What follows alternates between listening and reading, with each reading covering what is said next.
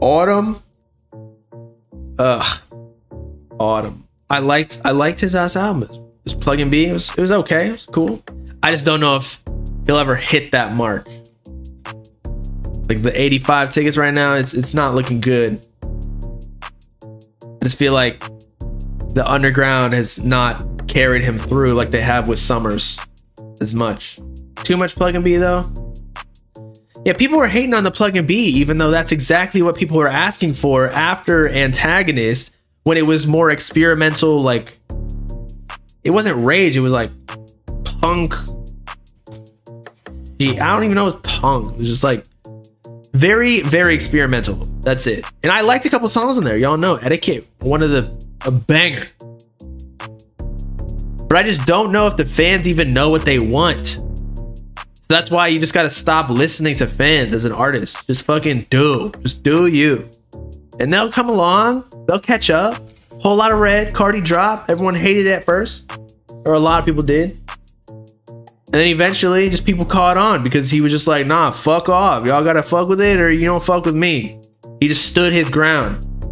When you start listening to the fans and, and act like you were wrong, like, oh, maybe my last album wasn't that hard uh, then the fans will start believing that they're right, and then they can start bossing you around. It's almost like uh, Taz Taylor's tweet right here.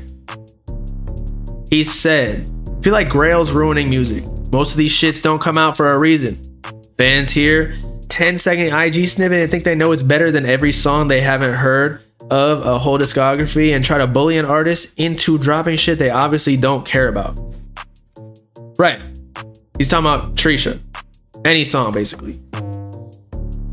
Like that say like the Uzi Grails or the the Tecca Grails or the Carti Grails or whatever. Where like fans will literally bully these artists into dropping the music. Even though we've talked about this the artists didn't drop the music for a reason. Because they did not think it represented who they were at the time or they didn't think it was actually that good after posting the snippet. They posted it, right? Maybe they were feeling themselves 10 minutes after they actually made that song.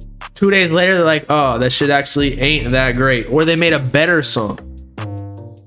Or they made a whole project that was better, full of songs, 10, 15 songs that was better. Or they just didn't like the subject matter of the song. It just didn't fit like the whole album that they were working on. And Trisha, I don't even, I mean, it's cool. It just wasn't as great as the hype.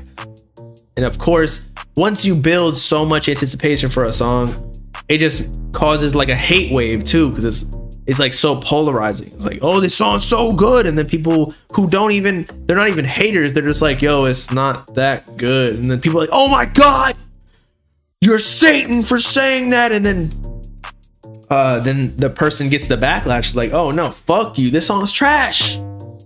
So the people who love the song so much are the ones that made the people who thought it was just okay or mid. Now they think that it's trash because the people are attacking them for not liking it. I was in the Tecca Discord like 10 minutes before the song even dropped, and they were like, by the way, if you don't like Trisha, like you go fuck yourself, blah blah blah. It's like that you haven't even heard the song. How do you know? Fucking meat riders. Just let the song drop. Let the artists do what they want. I think this is just a learning lesson for a lot of artists. And Uzi, Carti, Tecca, all the all the people. Just drop what you want to drop, man. Don't listen to the fans. The fans don't know music like you do. I don't know music like the artist does. I'm not even trying to say I'm better than anyone either because I'm just a fan at the end of the day, too. I just listen to music. I don't know how to make music. So and that's why I also don't even ask for any songs. It's like I don't, I don't fucking know. Just just do you, man. I wait for the actual official releases because the grails and shit too much to to too much to to keep track of. That shit is ridiculous. Y'all be like having fucking whole Excel sheets of of snippets and leaks. Like, yo, what snippets do you like or or do you want on the album? I'm like, fuck, I'm sh- I don't even know the names of any of them. I just you know the fans bullied Uzi into not switching up his sound. Uzi did switch his sound though on Eternal Atake. He was more like rappy. He was Baby Pluto, right? But then they wanted, they literally bullied him into dropping his old music.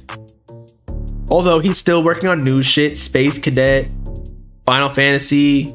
He dropped like actual new songs or 2021 songs, but that's still new in my eyes. The artists don't know music like you think.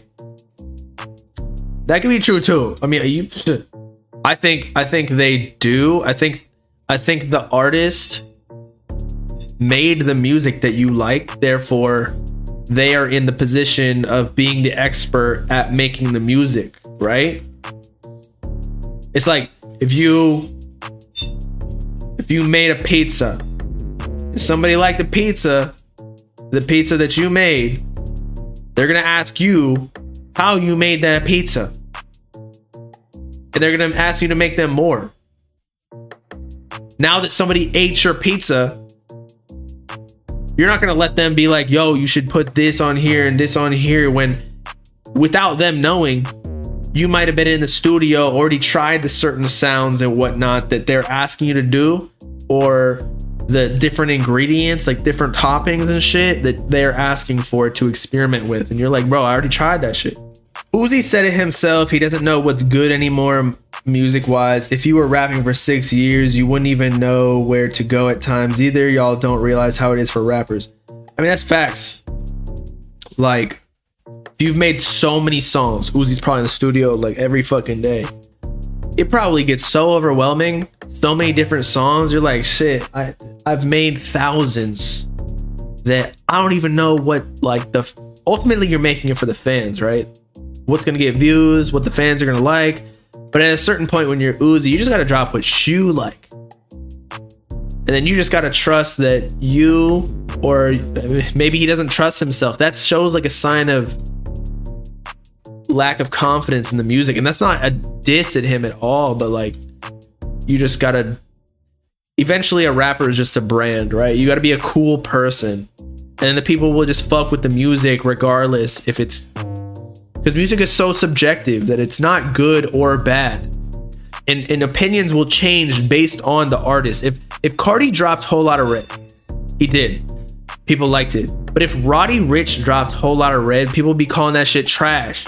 Just because it's not a it's a less gravitational brand. The person who made the music or released the music is a huge part in how it's received but yeah, music's so subjective. It's just hard to even judge yourself, like if it's if it's good or not. That's why I tell y'all, if you're a new artist, just fucking drop the music. Because the fans will tell you if they fuck with it or not. And that'll point you in the direction of where you should go later on in your career. But if you're just holding on to everything, you're gonna get all goofed up. Like, should I go this direction or that? Like you, you have so many different styles. You don't even know what people like anymore. And Uzi, because he's taken so many breaks, like two, three years to actually drop music, you don't even know what people like. So drop shit on SoundCloud, as I always say. You know, once every, you know, a couple months, maybe a pack every couple months. See what songs people fuck with. Maybe drop a, a couple different styles. Then you'll know for a fact what people are fucking with. Which ones go viral on TikTok? Which ones go viral on Twitter or Instagram or whatever? Which ones are just getting the most streams? Then you'll know which direction to go to.